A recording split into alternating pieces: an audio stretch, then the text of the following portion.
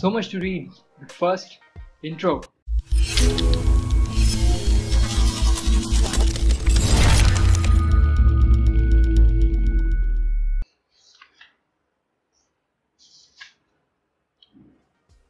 Oh, done with the intro.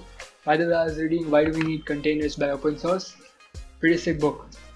Okay, so what's up, guys? Welcome back.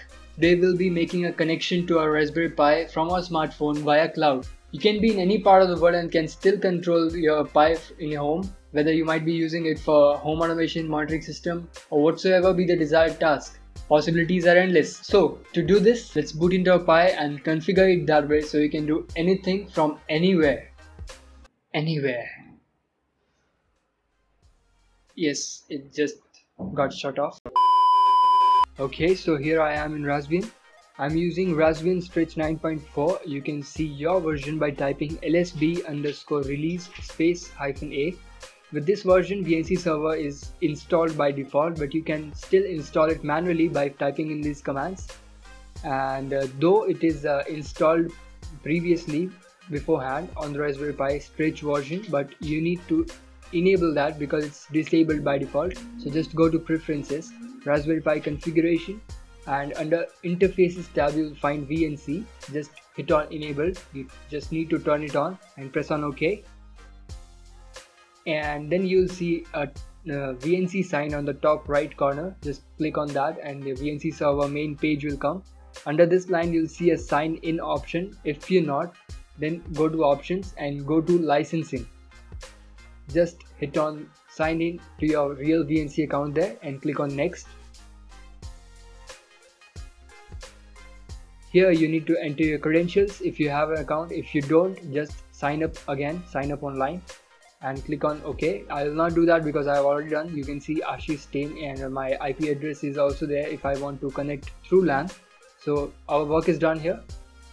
Alright into the smartphone just to ensure that i'm operating on the mobile data and opening up the vnc viewer app i installed already. Swipe from the right hand side click on sign in enter your credentials and I'm logged in. You can see my email ID actually you cannot.